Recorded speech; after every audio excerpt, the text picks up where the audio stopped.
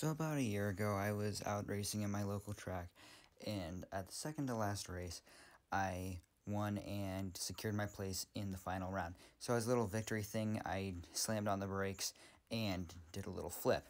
Didn't land it, but it was fun nonetheless. Everybody liked it. Well, after that, we were waiting for the last race. A kid came up to me and asked me three questions.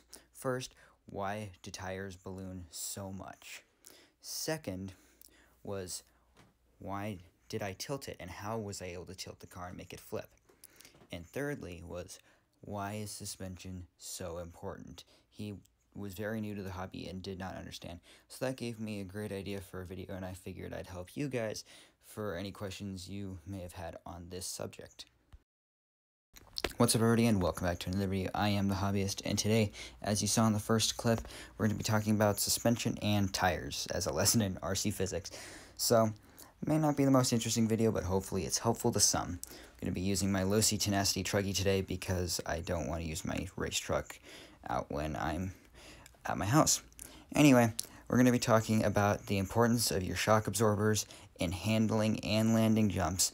So I'm going to show you some slow motion video and you're going to see the suspension compress a lot and it'll and then I'll explain exactly why that is.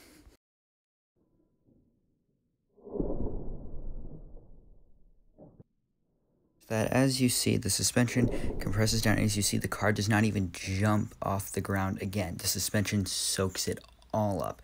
That's exactly what you want. That's what the suspension is there for.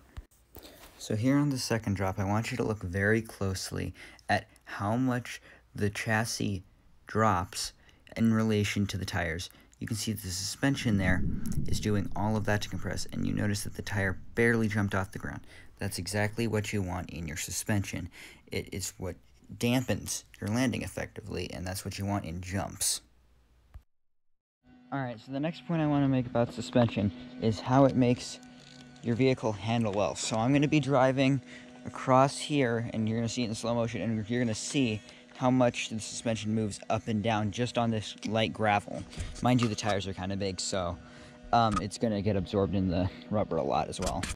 So as you notice here in slow motion, look at the tires compared to the body. You will notice that the tires are going up and down quite a bit, and that's the suspension doing its job soaking up these little bumps. If the suspension wasn't there, then the car would spin out of control effectively. Alright, so the last thing I want to address is how doing flips works. So, I'm going to demonstrate this by taking the tenacity and doing a backflip off of here and so and then I'll play it back again in slow motion and you'll see how incredibly massive the tires get and then I'll explain why that is.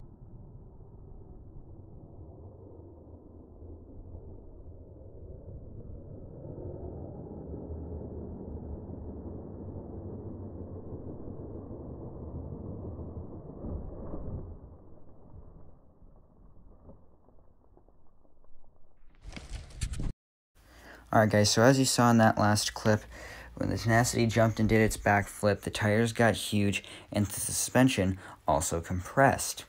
And that's what part of what the suspension is there for. It's to soak up that landing. Now, I am now realizing that I did not explain why the tires are ballooning. Basically, Newtonian physics teaches us that as an object spins faster, it basically tries to separate. And so the tires ballooning is basically the rubber trying to get further away from itself as the RPM rises. And that's why you see in the slow-mo the tires are getting pretty big. As for the reason the vehicle was flipping, that's basically rotational inertia. As the tires are getting bigger, all that rotating force is causing the vehicle to flip. I was accelerating, which was causing it to backflip. But if I hit the brakes, then it would have front flipped. Anyway guys, that's going to do it for the video. Hopefully you enjoyed. If you did, please hit that like button, subscribe, and leave a comment in the section below for what videos you'd like to see next. That's all for today, everybody. Goodbye.